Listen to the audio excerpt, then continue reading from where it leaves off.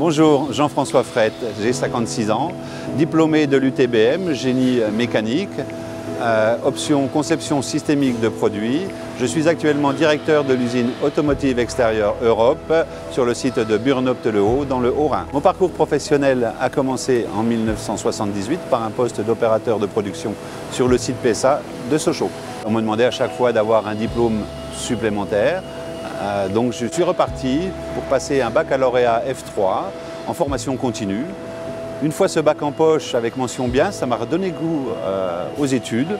Et donc j'ai enchaîné par en cours du soir un DPCT suivi d'un DEST.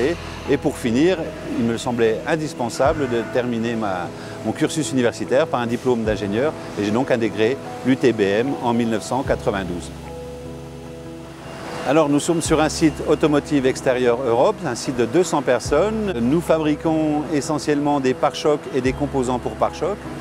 Nous livrons à peu près 1200 euh, pare-chocs sur le site de Mulhouse par jour, 1200 pare-chocs assemblés en juste à temps.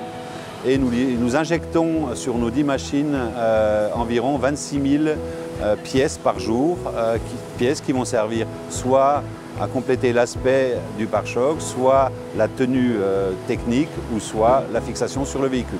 Avec mes collaborateurs, notre objectif est toujours d'améliorer les résultats de l'usine, qu'ils soient sécurité, qualité, financier, mais surtout le bien-être des personnes au sein de l'usine. Aujourd'hui, on a une dizaine d'ingénieurs en CDI sur des postes de superviseurs, donc en production, on a des jeunes ingénieurs qui sont dans des services qualité, services méthode, services HSE.